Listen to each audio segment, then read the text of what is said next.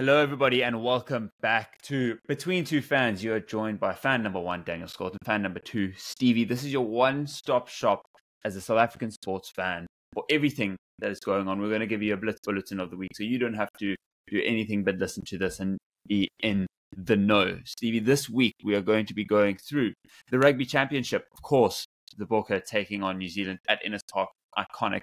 Then we're going to be speaking about the Proteas and how they fared in West Indies of course, an introduction to the Paralympics, which is starting today on the day of recording, Wednesday, the 29th of August. And then we'll touch on the Premier League game week two and what we know all about that. Stevie, how are you doing today? Fine, sir. Yeah, busy, busy. Been a busy week. Um, All Blacks were in town. Um, I was there on Sunday for a little bit of a shaker session they had. Was there yesterday, um, chatting to Mark Tele'a, who's very excited to be back. Obviously, is uh, considers himself half South African. Yeah, so it's it's welcome back. His first game at Ellis Park this weekend. Um, chatted Scott Hansen yesterday, taking over the attack role. Uh, obviously, the coach McDonald has left the All Blacks. A bit of uh, changes there as well, which can be interesting. Um, so the weather this week is looking absolutely gorgeous for Saturday. Um, yesterday, uh, one of the All Black players were, was being um, interviewed afterwards, you know, with kind of that pitch side vibe, and they were like, you know, how's it feel? And he's like, yo, the heat and the altitude, it's just nuts, bro. I'm struggling to breathe here. And so I think they've had a, a proper, proper introduction to to the Joburg weather. In well, fact, Saturday is is going to be a lot colder than it is this week. Um, it's going to be high snowing 20. in Cape Town as we speak yeah. as well. So, so hopefully it's going to be two extremes. Yeah. yeah, but I think we are expecting very dry conditions on Saturday, so you know it should be pretty perfect for uh, for for this game. No, absolutely. And Stevie, we are going to go through our predictions um, for the show. And for those who are new around here, this is the show where we make three predictions on three sporting matches of the weekend previously or the ones coming up. And then Stevie and I, there's going to be a forfeit at the end of it. The mm. current score, I believe, Stevie, 13 12. Correct? 13 12. And that was that was with last week. So we're going to go through the results this week, and it actually might be the end of the road for me um, because we're on the road to 15, and those, that who gets to 15 first, the other person needs to wear a sports shirt of the um, you know other fans choosing. So let's go through predictions from this last week. First of all, it was South Africa versus West Indies, and the um, prediction was for the first game. Mine was a South Africa win by 15 runs or two wickets. Yours was a West Indies win by 15 or 30 runs or three wickets. And what's really disappointing is that I don't think any of the games my prediction would have come right. You know, I was no, thinking of maybe no. trying to wrangle you and say, oh, yeah, game two, well, that'll work. I was like, okay, no, game two, lost again. Game three, okay, no, we lost all three games. So I think uh, that's fair to say you won that um, an astounding. And then, of course, we went on to Aston Villa versus Arsenal. The goal, the, the result there was 2 0 to um, Arsenal. Um, really getting away with a bit of murder after mm. some big misses and massive saves, um, keeping Arsenal in the game. So my prediction was 1 0. Yours was 2 1. Stevie, we're split down the middle, both yeah. one goal off. We both predicted the win. So we've spoken before this, and we're going to leave this as a as a tie. And yeah. then we went for the Lions um, versus Cheetahs, and the predictions there were, um, or essentially the, che- the Lions ended up winning by 17. Stevie, yours mm. was Lions by three. I mean, Lions by seven. Mine was Lions by three. Am I correct in saying, have you just got to 15 because of last week? Uh, I got to 14 from last week. And now you've won this week. I think you've just gone and won the whole thing. I've realized it while I'm presenting this because I hadn't added on last week because we put it to a vote. There was a contentious one, and the fans spoke mm. on behalf of Stevie, which is, uh, you know, uh, I think still up for debate. But you know, it's so not up for debate, dude. The, the tribe That's... did speak, uh, and you know, we do respect, or we try to respect democracy here. So that took you to 14 last week, and now that's just taken you to 15. So I've just lost. So you're going to have to figure out uh, up until this point what type of jersey you want me to wear. Yeah, and, I'm about to start DMing some All Blacks fans. I reckon in in London, especially ahead of the. the you, I imagine your next week is your home test. It's your, the Cape Town test versus the All Blacks. So you in an All Blacks jersey in that week could be oh. pretty brutal. Oh. Um, it'll also, I think, also depend on what happens on Sunday. Um, Liverpool United. If United were to beat so, Liverpool, so depending on the result, it's either going to be an All Blacks yeah, or no, it's, it's, have, it's gonna have to be a results based uh, decision here. Jeez, I can't believe I've just realized I've lost that after you know weeks, thirty weeks worth of predictions, and we finally come out on top. It was a hell of a ride, to tell you. We're probably going to have to shorten that down, you know, from fifteen yeah. maybe to every five. yeah. Now, but yeah, no, fair play. Stevie, I'll, I'll give that to you. And, um, you know, maybe a bit more head over heart. So, you know, a lot of, lot of respect there. But, Jeepers, that's going to be a tough look for next week. Um, so, if you want to come see what I'm wearing, you're going to have to tune in on YouTube, but you'll, you'll see the dismay on my face regardless. Um, so, I'm just going to wear this, um, you know, Bafana shirt proudly while mm. I can.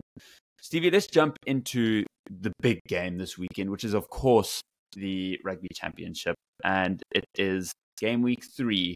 Now, of course, the South Africans have a um, five point lead, having won both of our first games by um, bonus point versus Australia. Now we have two home games versus New Zealand and then two away games to Argentina. Some might say it's the perfect mix in this form format of the Rugby Championship, and it's ours to lose. First game in Ellis Park. Tell us how you're thinking, and then we can get through the the, the lineup. Yeah, well, I think the lineup's a very interesting one. Um, I think we are going but all kind of all out attack, um, which which is interesting. I think at the end of the day, we've been looking to score tries this year. That has been a marked shift. We didn't do it against Ireland in the second test, but apart from that, we have looked like a team that can score tries, uh, or at least try and score tries. I think sometimes we could have been a lot more accurate. I think that's kind of been the story of our season so far. We played really well. We've had some really nice games, but um, probably left a lot of points out there. Which, if if we did get more accurate, I think we we got the potential to score a lot. But I think we have broken a record for scoring three tries in a row for the first time in how many years? Um, so there's gonna be five five with with fire. You know, I think that it should be a high scoring affair on Saturday. To be perfectly honest, I think both these teams have looked sometimes quite fragile um, defensively, um, but both of them look very deadly on attack. So I'm hoping we're going to see an absolute shit show of just tries, moments, like yeah. absolute. I think it could be one of those. Like it could be an all timer, to be honest. Yeah, no, I, I agree, I, and I hope it is because it's also, you know, big revenge from their part post World Cup yeah. final. Of course, they actually have a really good track record at Ellis Park. So the Springboks are there to kind of settle the record on that one to be like, you know, A, I, I'm sick of you winning on our supposedly our biggest mm. stadium in the country. And also, we want to win the Freedom Cup back. It's been over 10 years now.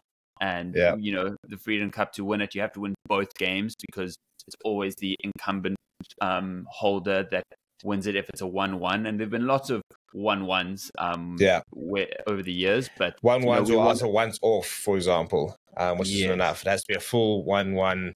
I mean, the ironic thing is you've actually beaten them twice. The last two times we played against them, we've beaten them because yeah. we beat them this, in Twickenham and we beat them. the first time that we would get that would be three wins in a row versus the All Blacks if we yeah. are able to beat them, and in three different um, countries. First, it was in um, Twickenham then it was in Stade de France, and now it would have been at Ellis Park. So history is there to be made. Let's get through the um, the lineup, Stevie, and of course the the big talking points are the lack of locks, that crisis yeah. that we have. We have the big selection of Sasha Mngomezulu picked over Pollard, and then we have Grant Williams on the bench. Is he potentially the new Kwagga? And then, of course, Aphelele Fassi been picked over Willie le Roux at 15. A lot of um, lot kind of shown in the faith for Aphelele Fassi and the growth he's had. And then Ben Jason Dixon starting at seven, which is massive for him. Also, this time last year was playing Currie Cup rugby. So some big names in that mix, Stevie. Uh, let's let's start off by going through a bit of our lock crisis. And as it mm. currently stands, Etzebeth has been ruled out for the first time in what feels like a millennia. Um, and we have Ruan Nortje and Pieter-Steph du Toit starting in the locks. Um, yeah, what are you thinking about the South African lock crisis? And with Nicholas Janse van Rensburg also available, why was he not picked? Yeah, it's an interesting one that he kind of came from the fringe. I mean, he was about such a weird lock career because he kind of came from nowhere. It was very unexpected when he came during the British and Irish Lions series. Played one test, and then we never saw him again. You yeah. know, so it was, it was quite it's quite a weird player to kind of fall to the wayside. So I think, given the fact that he's obviously been in the setup before, was quite a good player to sort of get moved back to. I was quite surprised to look at like a Marvin Orie, for example. Um, but um, yeah, I also I'm desperate for Marvin Orie to come back. I'm really yeah, really glad that he's. It's, it's interesting kind of that, they, that they've moved on from him.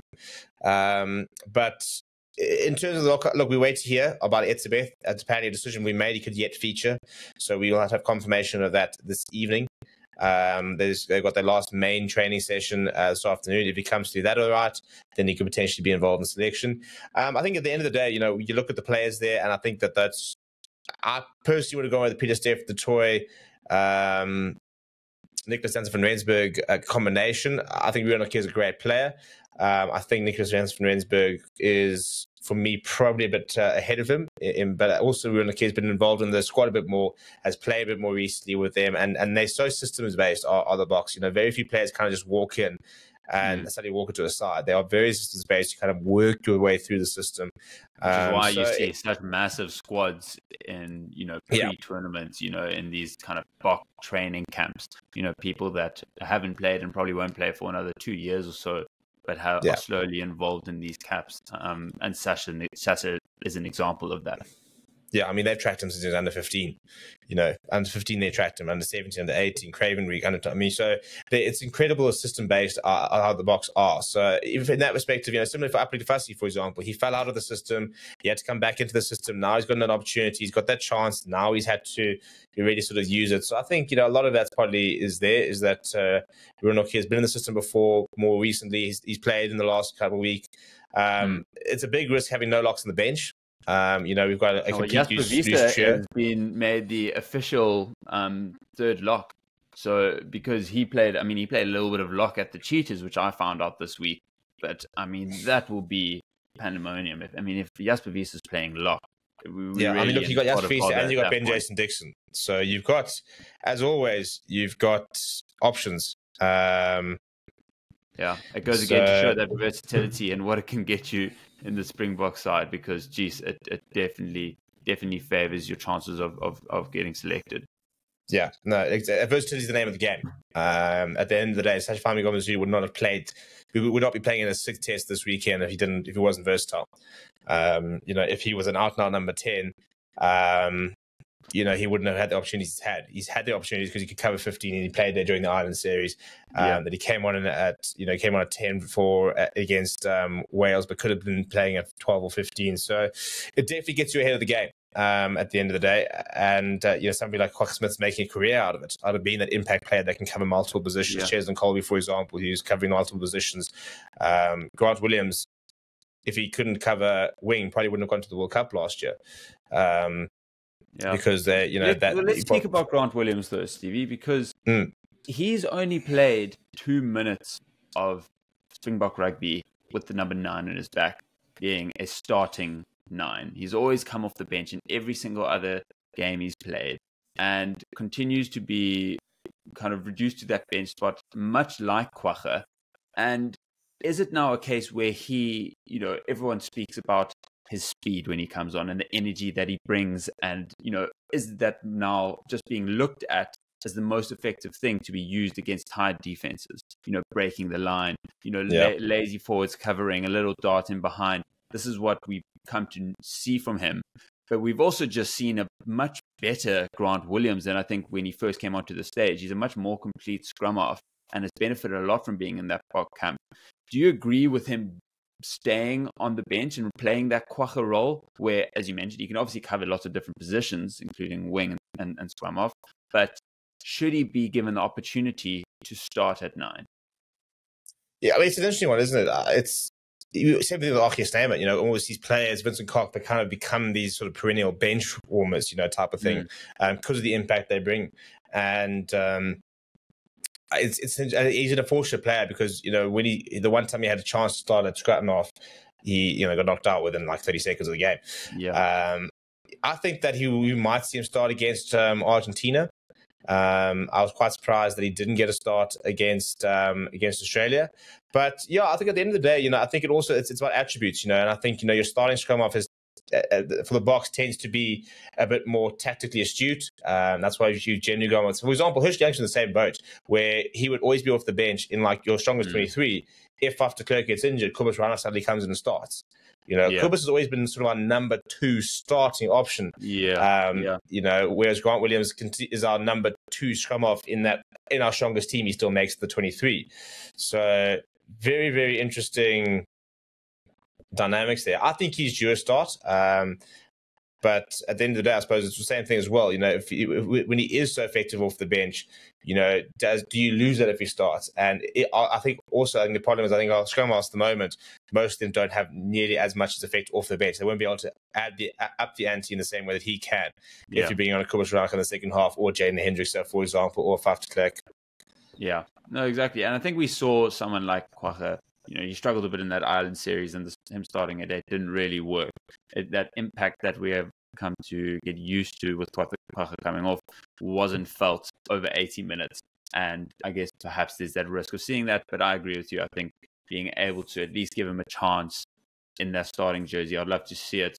And and perhaps it's also a case where you know last last week there was, or two weeks ago in the last Australia test, there was Manie van der Berg and Sasha, two inexperienced heads paired together.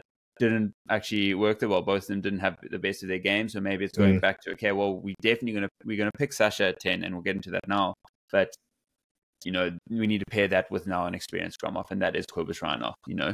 Um, but let's transition into the the flyhalf debate and what you think about the um, pick of Sasha at 10. I mean, he was introduced to the Boks at 15, played three games there, and now this will be his third game at 10 for the Boks, where he really hasn't played much of club mm. rugby, but is typically has been that has been his position coming through the ranks.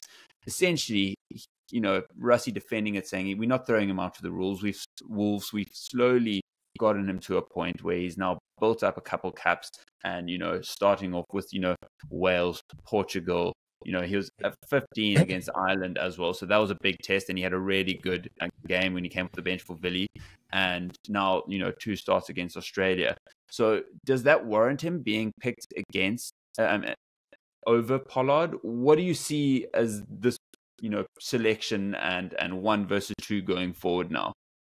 Yeah, look, I think it's it's we we I think it's I think it's, I think a lot of the Tony Brown influence. To be honest, I think you know we want to have a playmaker at ten, somebody who brings more players into the game, um, which which he is, um, and he brings the goal kicking that he's got as well. So he's kind of that bridge between Pollard and Manie Libbok, um, who I still think, you know, with ball in hand and, and as, a, as, a, as a, an attacking flower, I think Manie Libbok's probably still our best option.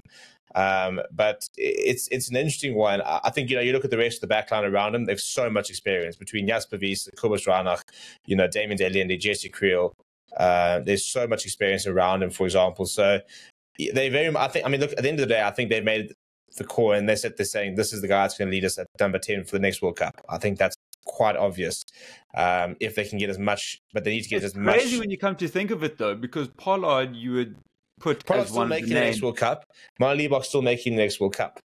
You know, and, they, and they're still um, picking Sasha. So I mean, to see him take the jersey away from Pollard, we spoke yeah. a couple of weeks ago and said Pollard has the keys as long as he wants it, but we're not sure if he does now. He might no, actually think... be getting rivaled by Sasha. And it'll yeah. be fascinating now to see also what happens when Sasha and Manie go back to province because Dobson has now got something, you know, a, almost a a massive selection headache on his hands. Yeah. Because Damien's gonna he's he's playing 15 unless you always play Damien at 12, Sasha 15, at 12, Sasha 15, 10. And you, want 10, yeah. Bok, you want your Bok 10 to be practicing and playing at 10 his whole you know club career. So yeah, which, which which is why Sasha has to come to the Lions. It's a very simple solution here, to be perfectly honest. Um, you yeah, know, I mean, we're, we're, for the for the sake of for the sake of the Bok rugby, we we're willing to, to, to make that sacrifice. Yeah. Um, no, I mean, no, it's, we, massive, uh, it's a massive, it's a massive conundrum. I think the Storm is going to have. Very interested to see how they do deal with it. Um, yeah. From from a Bok perspective, I think that they they're looking at a generational player, and they and I think they're just thinking if, if we can get this guy up to speed, you know, mm. turn him into one of the best players in the world as soon as possible. That's only going to make us better. We know what Pollard can do. We know what Manie Libbok can do, for example. Mm. Um, mm if we can get this car operating, then we've got ridiculous depth at 10. Um, I yeah. think we might see Pollard at 12 actually come Argentina. yeah. No Andre Esterhuizen. Um, you know, he's out for a while, so inside centers are not looking as stacked as we'd like them to be. Mm, in some sort of way, Sasha might be what everyone thought Damian Willemse was going to be, and that's not to you know diminish what Damian Willemse has done because he's become a you know top three fullback in the world. But mm. he was always a ten coming through the ranks, and everyone yeah. saw him as the next Bok ten. And he played a couple games there, and he wasn't that impactful. He kind of needed a little bit more extra time and space. Could Sasha be that? And with Damian at the back, you know, similar pathways. Western Cape has always mm. been known through the ranks. Everyone's spoken about their name and known them from a young age. A lot prodigy, of pressure. Yeah. So, and so maybe Sasha is that. And and you know, if he if he is, you know, lucky us. But yeah, it's going to be a mammoth clash this weekend, um, and I'm really really excited to to see how that goes. And a big one, of course, it's going to into the last big selection is Aphelele Fassi over Willie le Roux. Um, yeah. How do you see that um, transpiring? Well, I still I think again that's the Sasha versus Pollard situation. You know, I think if Pollard starts, then you, you really do have to have Willie le Um, and uh, guess analytics on Twitter, you know, showed the, the comparison. Because somebody yesterday, I was doing my live stream and I was saying that Fassi's not a playmaker. He says, what do you mean? Yes, he's a play- of course he's a playmaker. I said, but he's not in the Willie le sense. He doesn't distribute for example, like Roux does. as much he, yeah, exactly. He is a he's he's an attacking threat himself. He's a ball carrier. Yes. He makes meters. He makes more carries. He'll chip and chase. He'll score tries. He scores he more tries. A, Billy gives more assists. That's like correct. correct. Like yeah, to, to, bring it down to a, nutshell, it's exactly that. And the stats show that. You know, I mean, literally, Fassi runs the ball twice as much as Roux. Willie le Roux literally passes the ball twice as much as Aphelele Fassi. So they're hmm. completely mm. different fullbacks. Um, and I think that that's that's again what you kind of bring with Sasha, who's got that creativity that you don't necessarily need that little extra uh, sort of playmaking ability, but so now you can add an, kind an attacking threat. It's kind of a bit like almost Damian Willemse' situation with Manie Libbok. When Manie Libbok was playing, then Damian Willemse all of a sudden could become this amazing fullback where he just he could run with the ball in hand, he could you know kick him behind, he could be that attacking threat himself and not be expected to kind of operate as a first or second receiver and create um, you know tries stuff like that, which what Roux traditionally was doing in a Springbok setup. So it's all about combinations really and about finding the best way. How do we find out our best attacking output? And I think with Sasha 10, you can afford to have a more ball in hand nature type of 15 mm. than than a, a, playmaker or distributor in, in Willie le I think Fassi's earned it. I think he's had a couple of, of good games. I don't think he's been as, as, tested as we would like him to have been. Um, you know, he was phenomenal against Wales on the high ball, but he wasn't con- um, challenged a lot of it. He then played against Portugal, played against Australia, for example. So he's, he's very new in his test career. He's only playing, I think this is his seventh test. Um, this will be his test. Yeah, this, this, is, is the first time he's playing against a genuine tier one top nation. Yes, he's played against you know your Wales and your Australia, but look where they are at the moment. Yes, you know, in, yeah. in in their in their in their yeah. So you know now he's playing against top three side, and he's playing against one of the best sides in the world. So I think Saturday is going to be a very big moment for him. He needs to prove that he can play at the highest of higher level. He's proven that he can play at Test match level, but there's Test match level, and then there's Test match level. And this is now an opportunity yeah. for him to say that he can play against the All Blacks. You know, the best, you know, traditionally the best side in the world, and this yeah. is the biggest game in the world. Absolutely. Um, yeah, it's gonna be it's gonna be really exciting, and you know, I think the pressure doubles if we lose this game because that means they've already they would have, um, you know, the deficit will either be by one point or then or will, will be equal depending on the results. So then it takes it to Cape Town. So I think it's an absolute must-win game here um, for the Springboks, and then you've almost got one hand on the trophy um, at that point, you know, for for the rugby championship. And again, desperate to get that win in Ellis Park. Uh, this shouldn't be a place where we allow people to come and and actually thrive. So really exciting there. Stevie, let's jump into a bit of the Currie Cup and what has happened over the weekends. We alluded to it earlier in our predictions, but let's just go through some of the results. Again, a struggling Griffins losing to the Pumas at home, 26 points to 45. Cheetahs losing to your Lions, who seem to be on a crazy hot streak. 21 Remember the name Renzo du Plessis, who's just gone three man of the match awards in a row. Yeah. That's that's someone who we might be seeing in an alignment camp sooner or later. Yeah. Province, oh, giving me more and more headaches week on week. Twenty three points to thirty one. I don't know what it is about the Currie Cup, but we just cannot crack it, despite all of our yeah. depth. And then the Bulls a massive win to remain on top of the league, 47 points to 24 versus a um, a struggling Griquas, really. Um, yeah, Stevie, let, us start off with your Lions and, and Renzo du Plessis. Do you, do you see yourself, obviously, you know, you're only three points behind the Bulls now, you're going up against them this weekend. Um, would you, you know, could you call yourselves favorites going into this game now with the form that you're taking in? Uh, probably not necessarily favorites. Um, Bulls have been playing some tremendous rugby, and I mean the depth they've got is scary. Uh, what's what I'm what I'm loving so much is that the Lions are doing it without so many big names um, because we don't have necessarily the depth other teams. But now I think people are starting to see somebody like a Renzo du Plessis coming through, Nico Steyn, some very good young players, and the Lions are very unapologetically been kind of accumulating a lot of the the young talent across the country, and we're starting to really see it come out in in, in the Currie Cup. So I think mm. Bulls not necessarily. I mean, look, it's kind of a neutral ground on, on Friday. It's at Michigan College. So it's not at Loftus. So it's a home game for the Bulls, but not at Loftus. Um, I mean, I think the Lions go with a lot of confidence. I'm not sure this is favourites, but I think we're in for for, for a cracking game because I think we've got two yeah. teams who are scoring lots of tries, playing very good attacking rugby. Um, the Jukskei Derby is always a good clash. Yeah. So, yeah, I think yeah. it's going to be absolutely cracker. But I think the main thing for me as a Lions supporters, I'm looking at Pumas sitting down 19 points, and we're pretty much all but booked through to the next round, which is the main thing. Um, like a home semi final. Mm. And if we have to then go across to to Loftus for the final, well, I mean that's that's really the final that we probably want. If you're looking yeah. at uh, the, the, teams in and around the top four at the moment, a Bulls Lions Currie Cup final would be a really cool mm. occasion.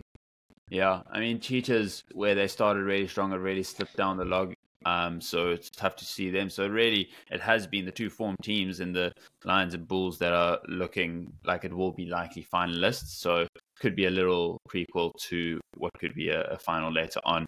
Um, and looks like it's going to be competing for one versus two. It's just whether you know Stormers or maybe the Pumas can get their heads out of their asses and try and challenge um, mm. the Cheetahs or Sharks for that semi final spot. But yeah, let's look ahead at some of those fixtures. We've spoken about Bulls versus Lions. We've also got Griquas versus Sharks, which is going to be massive for the Griquas in their yeah. charge for the semi final at home as well, which is always big for them. Um, Sharks are going to be taking on the Griffins at home. They will see that as a way of just extending that lead and maybe even putting a little bit of pressure on the Lions um, for that mm. number two spot. And then Province versus Pumas, uh, two teams that are sitting outside of those, um, you know, knockout positions and absolute must win. Stormers, I think they are three losses on the bounce now. So it's it's really has been a shocking season Currie Cup wise for them. But you know what I always love about the Currie Cup and it's why it needs to remain so strong, Stevie, is that they've always, you know, you spoke about Renzo du Plessis. Um, even certain players, you know, from the Griquas and the Pumas have been having stepping up and it's so good to see these youngsters from a coaching and players perspective given the platform to be able to thrive. And the Currie Cup is looking strong, um, to be fair. So uh, that's all really good for the state of South African rugby. Yeah, hundred percent. I've really enjoyed the Currie Cup. It's it's it's been we've been saying it every week. It's it's just continues to be such a nice competition to watch. Um, it's nice to got sponsor again. I do feel a bit of the magic's coming back into it a bit, even though the scheduling is still maybe a bit of an issue. But I think um, if we have another edition like this next year, I think it'll slowly start to regather the kind of the um, the the, the attention and the kind of the prestige it once had. Yes. Um, you know, it needs we need to accept that it is never going to be the Currie Cup in the traditional form. Mm. The rugby calendar just can't allow for it. Um, but it's still a really good product, and it's really exciting to see how many players are coming through, and it's acting as a nice preseason as well for the URC as well. So it's definitely got definitely got a, lot, a big role to play in, in South African rugby. Yeah, and I think if you also just look at South African rugby, that's the competition to win, especially given that we were in Super Rugby, now in the URC we haven't really built up a history of those tournaments. You know, looking back mm. on, oh, I'm a URC winner. That doesn't hold a lot of gravitas quite yet, and it will over time once we're in that competition. Um, but everyone knows, and everyone will speak of them being a Currie Cup winner. You know, as a South African rugby player, and all the greats have kind of done it. So it's also for you to go out and get there. No, no South African rugby player wants to retire without winning a Currie Cup. So I do think it still yeah. has that prestige in South Africa, and I hope it remains that way. And it does look like it's, it's continuing to go in that direction. Let's jump into the Premier League, TV, and we have had a game week two now. So a lot more mm-hmm. being revealed about the Premier League and where different teams are at. Yeah. Um, well, I'll start. Uh, as as predicted, Manchester United continue their woeful form against Brighton. I think it's like four losses in the last five games, something stupid. Brighton are um, the definition of just they're always the banana peel. Always, always. Yeah, Brighton no, away are. is one of the hardest fixtures on the Premier League calendar. I'm telling you. Yeah, I think it's just it's uh yeah, no, it's been a disaster. Um, kind of sort of, and the frustrating game again. I kind of watched it with sort of one eye and then watched the highlights. I mean, a couple of disallowed goals for United, so a different day, a different you know fraction of the second. Um, it did it did demonstrate the uh, fragilities United have, especially in attack. Um, mm You know, got to try, and, and, this is why we're saying it's all very nice bringing in a big defensive midfielder in Ugarte, who could be confirmed hopefully in the next couple of days but um, still plenty of issues up front. Yeah. Um, look, Brighton are a good side, and I think you know they're signing they're signing really interesting players this this, this transfer window as well. So I'm very interested to see the run that Brighton might be able to go on this with, this the, with their new 31 year old manager. Yeah. You know, it's a it's a very interesting project um, and a very good project. It's a well run club. Um, and uh, I think they can go on wrong. I don't think this will be the final, final sort of scalp, so to say, of yeah. of the weekend. Um, it was an interesting weekend though, because Tottenham, for example, is who, who got us to such a bad start. Um, you know, were held against Leicester and you know all the issues. They then responded mm. with a four 0 victory over Everton. So kind of yeah. you know putting all those kind of fears. Um, to bed. Other results West Ham beating Palace 2 0, uh, Forest beating Southampton 1 0, Fulham beating Leicester 2 1, and then City versus Ipswich 4 1. Haaland, who, you know, after rumors that he was potentially injured for however many weeks, coming and scoring a hat trick. So yeah. RIP to the FPL managers who took him out. Um, yeah, no, yeah. I mean, it's it's it's a serious he, he for the City just side. to turn out goals. Um, yeah, I mean, yeah. Well, we'll quickly get through the rest of the results. Arsenal getting that um, result two 0 away to Villa, and that was that was really a big show of character, and it's starting to actually become quite normal for Arsenal, where they feel like they actually aren't on top of games. You know, one big miss for Ollie Watkins in the first half, and then a freakish save from David Raya for Watkins' header. Again, Watkins probably should have finished it, but I think you've got to give more credit to the goalie than take away from the the shot because it was unbelievable. And then they go and kind of get a goal out of nowhere and then finish off the game with another winning 2 0. So real. I think they've just managed to continue that form that we started to see yeah. from them in the last two seasons. So, and you, we all know it's going to be a mammoth effort to try and beat City, and it's going to require 90 plus points. So, you know, is this an Arsenal that can continue to do that? But um, it'll be interesting to see if they, if this is something that they continue to do going behind or not going behind the games, but you know, being you know on the back foot but still getting results. And of course, yep. Bournemouth, Newcastle 1 1. Um, I think I've been very disappointed with Newcastle's start to season. I mean, one win, one draw.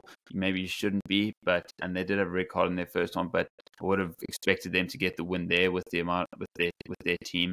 Um, mm. And then a massive blowout win for Chelsea, six two, and that comes off the back of um, Maresca actually dropping half of his team. He essentially said Raheem Sterling's not playing. He said that Ben Chilwell, they all need to go find a new club. He says, I can't deal with 40 people. I can only deal with, you know, 20 something. And the rest have been isolated. They're not training with us because I can't work on this many people. Do you think this is the approach that Chelsea have finally needed to actually, you know, go ahead and make a bit of progress and a bit of cutthroat? Because the owners are clearly making signings left, right, and center. I think I read yesterday they have eight goalkeepers, which is just absurd. Yeah. But does does Maresca and this approach is that the right way of doing it? You know, big names that he's leaving out though. Yeah, look, I think it's the only way of doing it when you've got a squad of that sheer size. You know, it, it is far too big. They are signing far too many players.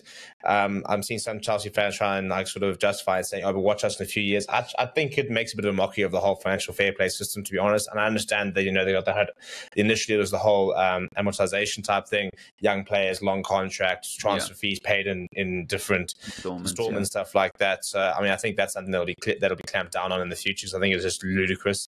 Uh, it's always been, but Chelsea have always been a bank of players. They've always had 50 players on loan type of thing. And um, so you've got to trust, you've got to, you've got to draw the line and say, right, this is my squad. Um, you know, who they're adding, maybe a Victor Osimhen if, if they can get that over the line.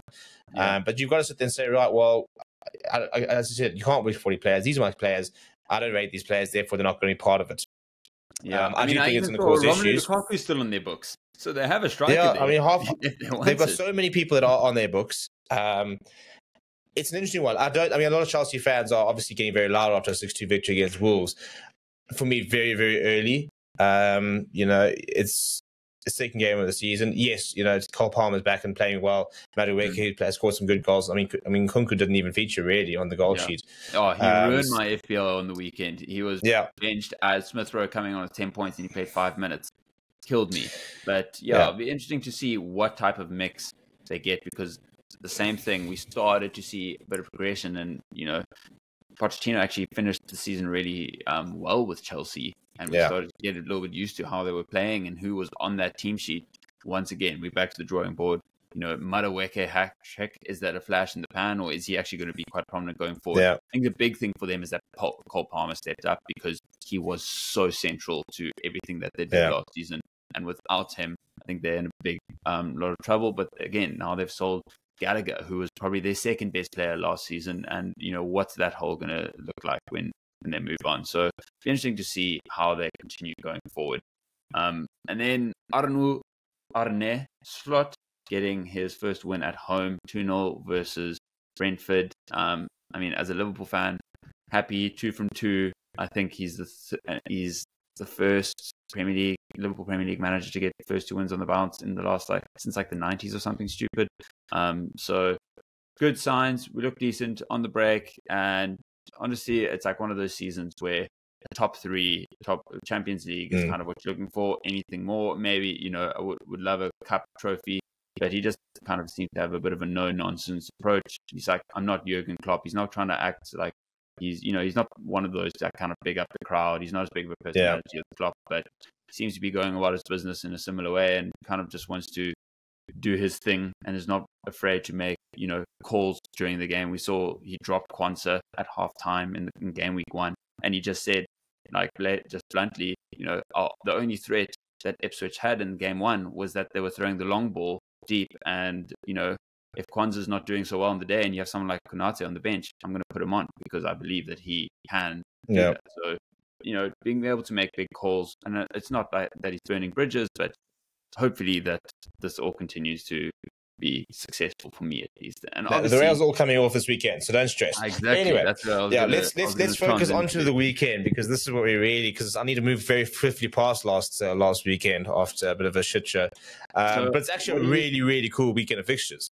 It is. It is, and big one Arsenal Brighton. Of course, Brighton with the big result, and Brighton are just the, the banana peel team, and they were previously back in the Neal Maupay days, always, always giving them headaches and always managing yeah. to get, get, the win over the, the, win over them. Of course, there is, um, I think Chelsea Crystal Palace will be a great game. Crystal Palace haven't quite got off to a flying start, but we know that they're really strong into last season and they've got decent players. Also, just signed Eddie Nketiah. Newcastle Spurs is going to be massive now kind of two teams with a win and a draw. So where do they really sit in the scheme of things? And could one of them be charging for the top four spot? And then finish off the weekend, Sunday, five o'clock kickoff. It doesn't get more iconic. Uh, Man United versus Liverpool. Stevie, what are you, what are you saying? What are your worries?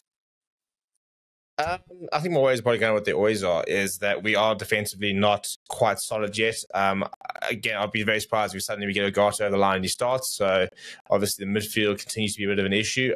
We've also got new defenders. You know, we've got Ligt, obviously Yenny, you're injured, not ideal. Mazraoui still sort of adapting. So I think it's going to take a while for us before that sort of there's that chem- that chemistry between the the back four and, and even the back five, including Andre Onana. So I think that we are defensively still probably quite frail, and we just not looked at we've looked we're looking to create chances. You know, we've had chances. I mean, we scored goals against. Uh, we should have scored more goals. Should have won the Community Cup if you're being brutally honest against City. Um, had the chances there. Could, should have won 2 0 against Fulham, had a couple of chances there. So we're not, we haven't been finishing our chances, but we've been creating them.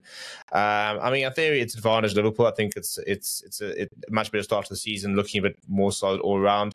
I do think that, as you mentioned, even Ipswich is again a bit of an issue. Uh, if United start well, we can get into Liverpool. If we played the first time we played against City, where I thought we played really well. But mm. with the problem with United is that we just don't really know um, who's going to rock up on the day. Rashford rocks yeah. up and decides to have a world. you know, he could go and score two, three goals. He's got that mm, ability. Mm, mm, mm, but so can Mo Salah. So I think it's two teams who Liverpool being the more settled one, but two teams who I think this could honestly go any, either way. I think being at Old Trafford obviously gives United a big boost, but Liverpool definitely have the form obviously going into this. Yeah, and you know, as you mentioned, it's still the beginning of the season. We're still trying to figure out. You know, once you have at least five games under the belt, you can see who how they've done against different caliber of teams, and you can start to really understand. Now it's like is that just a flash in the pan? You know, you know, maybe we go one 0 behind against Ipswich and then get that draw in the game, and then it's a big question mark in Liverpool and, and Arne. So yeah. it's it's all very new. I think it's fundamentally going to come down to can you? I think your defense is you know it's been okay, but can you prevent as many chances? And I think the big one there is is Mo Salah and our um, counter attack, and then it's going to come down to how we can deal with Bruno Fernandes? And does Bruno have people running off of him that he can feed? Because honestly, it looks like he's the one that's most likely going to score nowadays. And that's mm. not actually meant to be his, you know, he's probably meant as a player meant to have more assists and goals. Um, and one of those players that can do both, which is why he's so, you know, such an influence in this Man United team. But he just needs that person up top. Um, is it Zirkzee? Is it Rashford? Is it Diallo? who is he feeding to be able to then get in behind the Liverpool? Yeah, no, I think it's yeah, as you, as you mentioned, he is the danger man, um, and, and that's the thing. It'll be an exciting game because we know who the danger men are, for example. Um, you know, and there's certain players that when they play well, the team plays well, and the teams I think are quite similar in that regard. You know, if if Mo Salah rocks up and doesn't have a good day on, on a Sunday, yes, you've got other players you can step in, um, and there are other players that you will bring goals, but you need your best players stepping up at the at the important times. Um, mm. and similarly with United, if Bruno has a shock on a Sunday, it becomes yeah. very difficult for United to to exactly. compete. Like um, speaking you, of competing. And yeah, rather not competing, Dan, we're going to move on to cricket. Is, is the Proteas went and effectively had a decent Test series, and then a different squad basically just had a week holiday in the Caribbean because not particularly brilliant cricket was played no. um, in this test no. series. We lost 3 0, yeah. losing by seven wickets, 30 runs, and then by eight wickets. Yes, by Duckworth-Lewis, to be fair. But um, Dan, a T20 series to forget. Mm, massively. And we went to West Indies before the World Cup. Obviously, that was a stronger team. I w- I wouldn't call this a young team. I call it an experienced team, and there were a lot, mm. a lot of trials going on. Um, a lot of players missing. You know, we, we, must acknowledge that there are a lot of players missing. There's yeah, no De Kock, Klaasen, Miller, Rabada, no Maharaj, Shamsi. No That's yeah. six players you all play in the T20 World Cup final. So exactly, yeah. Let's exactly. let's let's add that uh, that precursor. But yes, yeah, that, exactly. So you know, the only kind of you know people that we are used to seeing there was really Reeza Markram and Stubbs these Stubbs. days. Exactly. Um, and and, and, and I mean, Akil Baartman was like leading the attack, and he, and he he made his debut this year. Exactly. So it is inexperienced, but yeah, I mean, three three games to forget. Really, we in all of them we kind of showed a promise. The the first mm. one we managed to dig ourselves out of a bit of a hole, and that was largely thanks to um, um, Patrick Kruger and Stubbs, and they they were really the two that shone out the series. But the second one, abysmal, got ourselves into such a good position to chase 179, having, it, yep. having had a strong start, needing 55 or 42 or seven wickets in hand.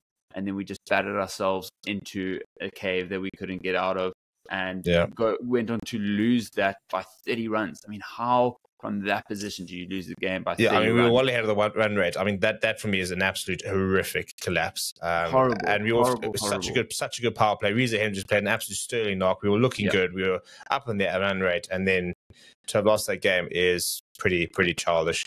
Um, and then the third game, frustrating because you know we were obviously it was, it was a shortened game. Conditions mm. changed so much after the rain. Uh, they, I mean, the, the, I think the, the, percent of spin was 1.9 degrees before the rain and like 3.3. It almost doubled. Yeah. Um, after the covers were pulled out, and you could see see by the first two overs, you know, Markram and Rickelton and we, they couldn't touch the ball because the ball was moving so much. They then kind of got grips to it, um, and we ended up leveling a reasonable score. Um, but we lost basically 12 balls as dot balls, which was just pure. Okay, the conditions are completely different to what we were pl- playing before. Um, yeah. So you know, you go and add boundaries on half those balls, and you go and score 130 yard, for example.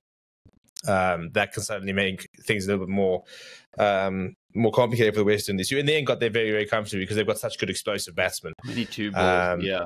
It always I, I, do think often it, it does favour the the chasing team on on yeah. you know reduced because the openers can go out and just swing for the fences. You have the exact same amount of wickets in hand. You know, yeah. our slow start just killed us. We were, I think, yeah. on like seven runs after three overs. It's like you can't, you shouldn't be doing that in a normal T20 game. Never mind a reduced one. So that yeah. kind of just and then and then we had made straight, off, straight off the bat basically when we came back. So yeah, we were always right behind, and it was a phenomenal innings by by Tristan Stubbs. Um, but it was never never going to be enough. And then we don't we've got we don't have the bowlers at the moment mm. to to defend mm. a 116. If you got Shamsi who goes and takes you know four for next to no runs, and Maharaj who goes for nothing, you can create that pressure. But we just didn't have no. have the bowlers. Exactly. And let's go through the series and speak about a couple of winners and losers because it was a mix up of of players. I think we were both in agreement that you know our South Africa's at least player of the series was absolutely Tristan Stubbs, and he's just continuing to prove that he mm-hmm. is world class. Genuinely, I tweeted last night he is going to make so much money. I was just watching last night, and he's. So I was just like, yeah, he is going to make so much bank because he will get big IPL contracts. He'll go and play in the Major League Cricket. He'll get offers from the Vitality Blast. He'll get offers from the 100. He'll yeah. get offers for the Lankan Premier League. He, will be on a big SA20 contract. He's going to make all the money. He is just stupidly good. It'll be interesting to see how he actually balances that because I think we've spoken about him being the most talented cricketer since AB de Villiers that South Africa's had. And AB de Villiers, at least towards the end of his career, realized, listen, started picking and choosing the competitions he wanted to play mm. He was obviously an unbelievable test ODI and T20 player, the best, you know, of all three formats that we had in this generation. And Stubbs is looking to potentially be the same. Obviously, very new into his test career, and we haven't seen the yeah. best of him there. But you mentioned everyone is going to be throwing money at him to come to their um, T20, yeah. you know, league all around the world. No matter where it is, no matter what time of year, that he's going to have an offer to go and play somewhere, and it's going to be big money because he's going to be he is a star. So yeah. I want it's going to be interesting to see how he does going forward and how he prioritizes that with South African cricket and with Test cricket, you know, being deprioritized by um, Cricket South Africa in terms of how many games it's being given. You know, does he still continue to actually commit to that? Or do you mm. say, well, I'm not playing that much Test cricket. Maybe I just, you know, I'm, I'm an ODI cricketer because I mean, he's absolutely box office, and it's no doubt, at least at this stage, that's where his where most of his talent is. Yeah, look, the nice thing about him is he's got a real good head on his shoulders. He just seems to be a guy that loves his cricket. Absolutely. You know, I mean, they'll ask him like, "Oh, what's what's the S3 money? What are you going to spend?" And he's like, "I don't know. I think it's in my parents' account." And he didn't even like know what was plotted. Yeah, you know, he just he loves his cricket. He, yeah, you know, he wants to play Test cricket. He says that that is his pinnacle. You know, he wants to win a World Cup for South Africa. You know, so mm-hmm. ODI cricket will be a big priority for him. Like he'll want to be at the moment where his position. He's looking 2027 World Cup in South Africa, saying that's my World Cup. Yeah, you know, the Absolutely. the World Cup we just saw by Travis Head like last year and stuff like that. He's saying that needs to be me in 2027. I need yeah. to be the guy that wins us that World Cup. Mm, I can guarantee you right now that'll be on his mind because he's got the talent to do that, A, and he's the kind of person, he's the kind of competitor he wants to be that that person. You can see, I mean, every time in the series when he goes up, I mean, he went down like 40 off like 12 balls and he's like punching his bat, he's fuming. You can just see he's like, yeah. well, I've got two more balls, I just wasted. Yeah. He is so ultra competitive and, and he plays at such a high level that yeah. I think that he'll play IPL and I think he'll play maybe like a major league cricket, but I think he will never say no to a test series in the next few years. and I think he'll try and play as much ODI cricket as possible. He's also two things. First of all, he's not old; he's still pretty young. He's also a batsman, so longevity wise, he can play a lot longer mm-hmm. than you know something like an Anrich Nortje. He's now had a bad injury. He's now saying, "Listen, I've got limited time. Yeah, I've got to, I've got to cash in yeah. while I can." Exactly. Stubbs has far more time and far more, um, you know, yeah, it's the likelihood of having a, a, longer career. Yeah, yeah exactly. For sure. for sure. And geez, may we continue to speaking about him about him being the best player in, in many series to come. But the next yeah. one was Patrick Kruger, and he batted alongside Stubbs, particularly in that first one, getting us from a really bad place. I think we were about 40 for five or something, and they dug us out of a hole, contributing with the bat and ball. Patrick Kruger, really one of actually the more inexpensive bowlers, where everyone else was just going for absolute an absurd amount of runs, and super handy with the bat. And you know he he stepped up in the SA20. He's been given the nod here, and you know man from Kimberley coming up, and it was funny because they were speaking about, you know, in the England Test series, you know, this I forget who they were speaking about, but he's from Essex. He's he's going to be hard as nails. I was like, bro, you don't know Patrick Kruger, and Patrick Kruger is from Kimberley. You know, this yeah, like, no, he's, listen, he's, listen. A, he's he'll take you to the dog box and he'll flip and go there happily and he'll clean you because he's such a farmers league like bully. He just he's yeah. strength. He hits the ball so hard. So he, hard. Like we, we've we've all played against farmers who they just got a different type of strength. The, the sound the ball makes it's barbaric. Yeah, the best and way you worry about it. the car park. You know what I mean? He's one of those. Like, you where where yeah, your captain goes and tells you to go stand short cover, and you you, you say no. No, I'm not. Yeah. I'm not. I'm not. I'm not dying playing Sunday League cricket. No, not, not worth my future kids. Um, Correct. Yeah, but then a couple players, or the big, I guess, losers that we're framing it for the series. Um, I think the big one to mention is Rassie van der Dussen. And, yeah. you know, he is now being not selected for T20 World Cup. He's at the end of his career. He's at least 33, 34 now and is still getting picked for international series. And it seems like he is playing, you know, the senior figure, creating a bit of a spine in the team. But fundamentally, he isn't being played in the right position. He's used to being an opener in T20 cricket. He isn't being put there. He's batting at five. He bats slowly. He takes a while to get in. And he was, you know, probably the biggest reason that we ended up losing that second game. He dug us into a hole. And mm. it always looks good when he's able to get us out of it. But it often takes him 15 balls. So when you do go out on your way to kind of ramping up your innings, you've actually wasted it. And I just don't think it's a sustainable um, technique or, or way about building your innings now into test cricket. It's just not how you can do it nowadays. You have to be able to switch it on right from the get go. And, you know, it's disappointing because I think he's really taking the positions of someone like, you know, Wiaan Mulder, um, Jason Smith, Donovan Ferreira, Breetzke. They all had to sit out certain games. I mean, Breetzke wasn't even on tour with them, but I would have rather yeah. seen Breetzke play the two games that Rassie didn't. Or, you know, Jason Smith, who only played one game you know, and, and got minimal time because of rain. Now he, we don't really know what he's made of. Mulder and you got one game, faced one ball.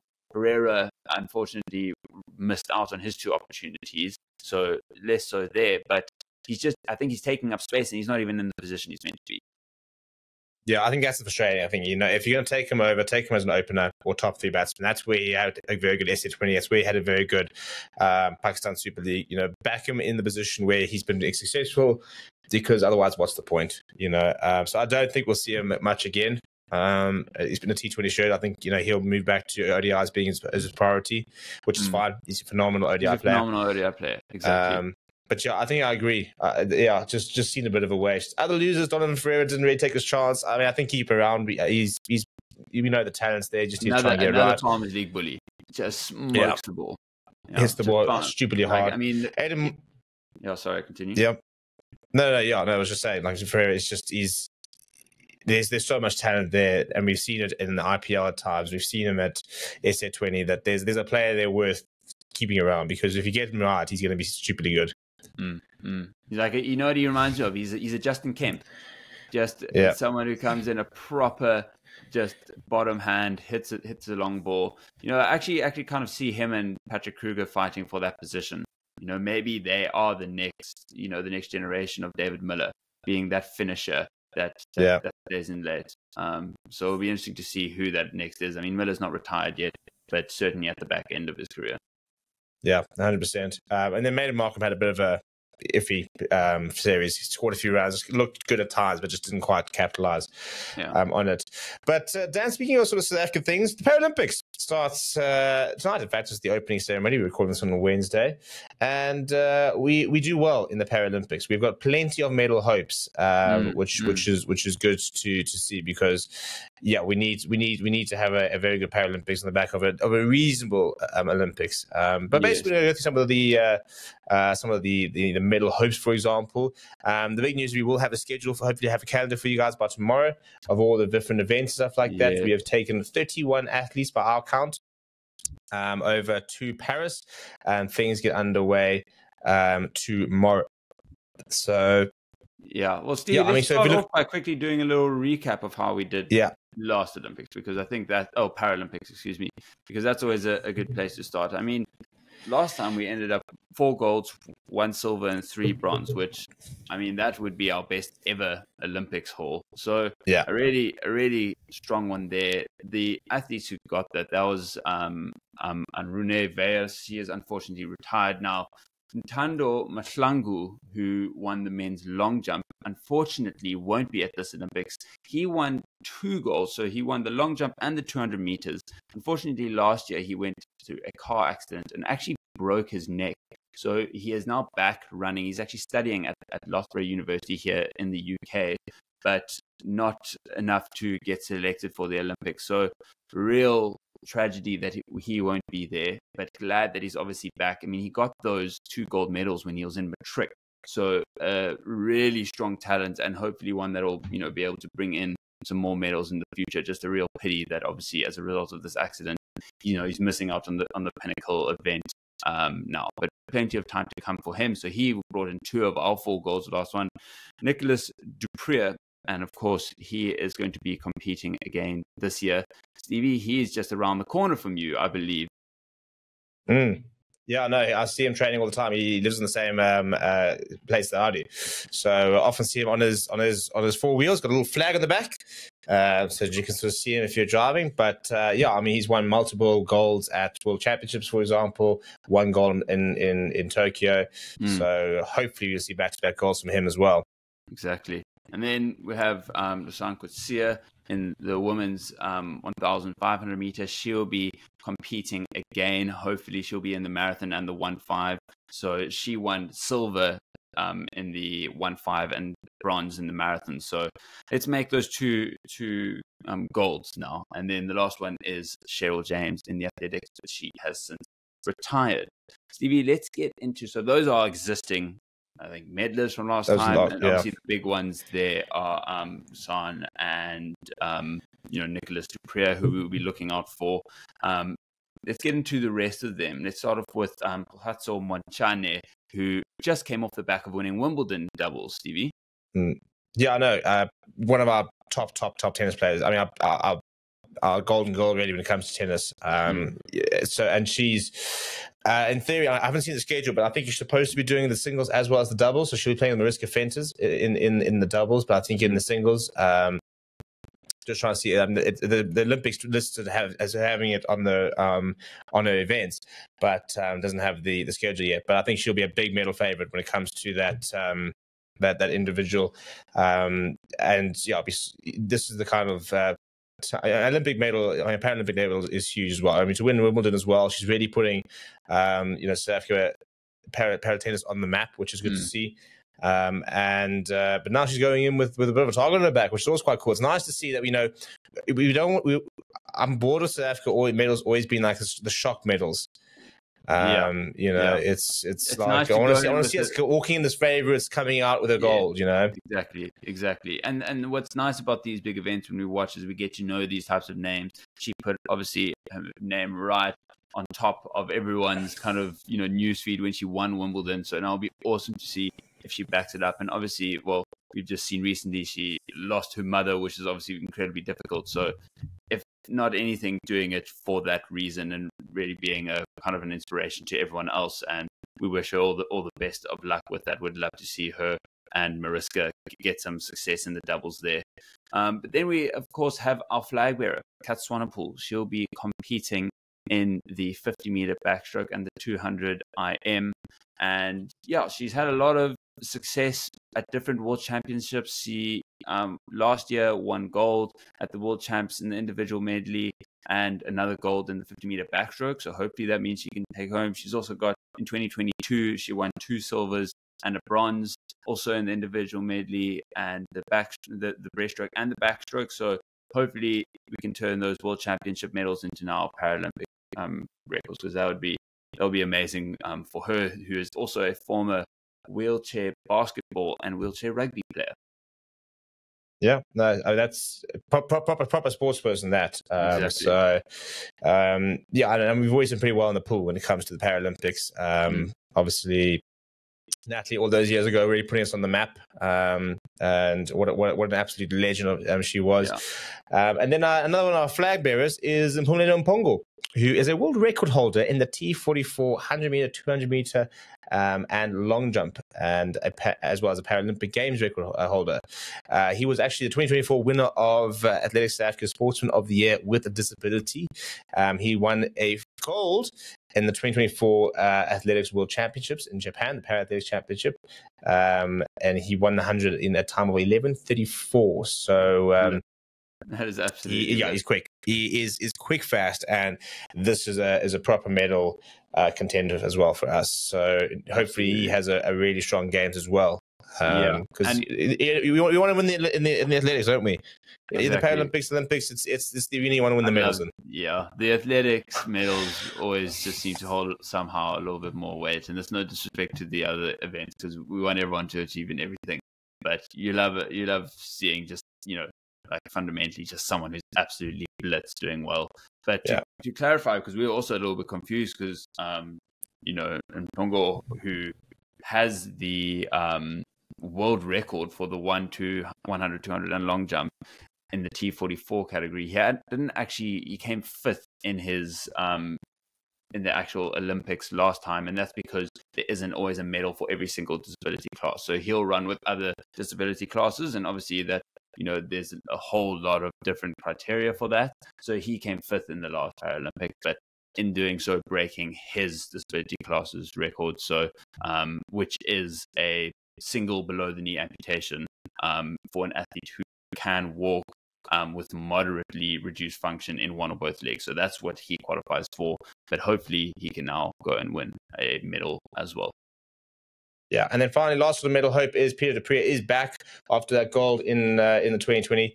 Um, so yeah, looking to defend his title really, um, and as mentioned, multiple um, golds in previous world championships as well. So uh, he is a man of good form. He's been doing this for a long, long time, and um, yeah, we'll be over there. So in terms of the schedule, um, yeah, we things will start off tomorrow. We've got uh, Sean Anderson involved in para archery.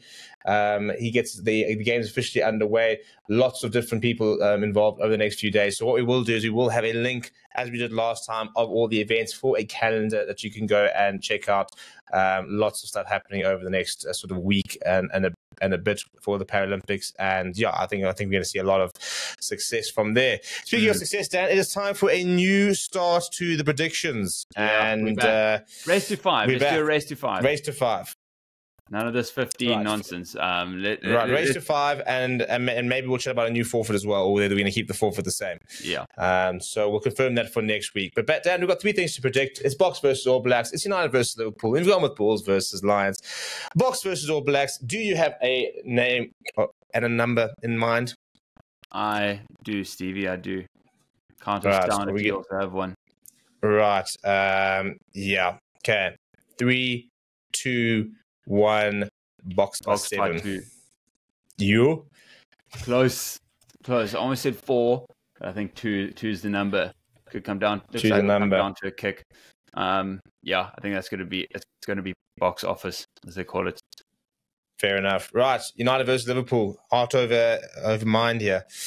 Um, do you do you do you have a score in mind? I have a score in mind, Stevie.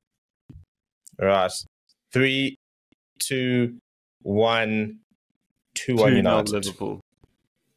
I didn't get you. What did you say? I said two 0 Liverpool. Two one. Two one United. Sorry, yeah. my bro.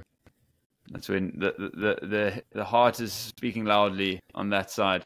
Um, yeah, yeah, no, it's, see, it's fine. It's let's see where your heart is on this one because you've got a lot of skin in the game here. Bulls versus yeah. Lions um, as we spoke about earlier. Have you got a score in mind for this one, or at least a, a margin in mind? I do. You count us in once again. Okay, three, two, one. Lions, Lions by, by five. Interesting. Yeah. So we're both on Lions. I, I do think their their hot form is going to benefit them. They've yeah. been unbelievable. They've really been so. And I also good. think, and I also think that it's neutral. based on neutral neutral mm-hmm. ground as well. I think that'll mm-hmm. take a lot away from the Bulls. For sure. Um, and I think Renzo du Plessis is about to drop another masterclass. So we move, we move. Yeah.